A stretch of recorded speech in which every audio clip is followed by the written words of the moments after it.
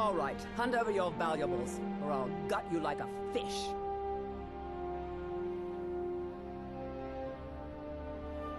Don't you walk away from me. Ah!